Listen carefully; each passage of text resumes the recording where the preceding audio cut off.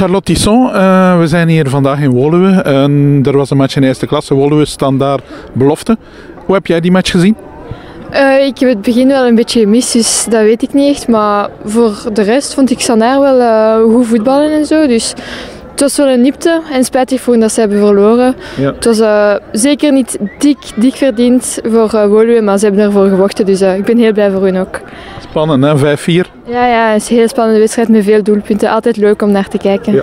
Was het spannender dan gisteren, België-Bosnië, want je was in het Boudewijn-stadion? Ja, spannender wel, want ja, de Belgen hebben daar easy gewonnen eigenlijk. Dus ja. ja. ja.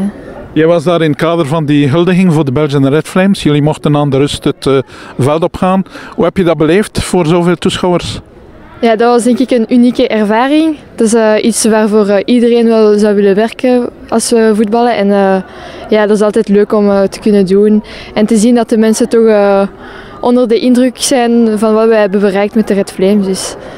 Ja, hij mocht ook eventjes uh, de IJslandse hug doen nog. Ja, ja dat, nu kennen we hem wel goed, want uh, na de wedstrijd tegen Engeland konden we hem ook een paar keer doen. En ja, het was wel een leuk moment. Extra oefening, hè? Ja. ja, ja.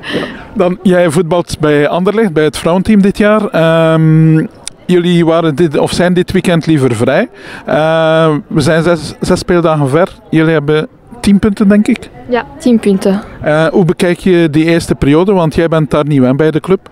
Ja, de eerste periode was wel... Uh, ja, eerst en vooral zien hoe dat de andere uh, ploegen speelden. Want met de nieuwe competitie, allee, het is niet echt nieuw, maar toch de ploegen zijn heel, allemaal veranderd. Mm -hmm. En dus nu kennen we de ploegen en weten we hoe, dat ze, hoe dat we ze wel kunnen pakken. Bijvoorbeeld Gent en Standaard. En dus we gaan er alles aan doen. Ja. Dus die eerste zes matchen, dat was voorbereiding. Ja, voilà. voorbereiding, maar ook ja, tonen allee, wat we toch konden. En om uh, te zien wat we moesten verbeteren. En dat weten we nu, dus dat is wel goed. Ja. Jullie hebben twee wedstrijden verloren, denk ik. Standaard thuis, Gent uit. Uh, zijn dat de twee grootste concurrenten voor een titel eventueel?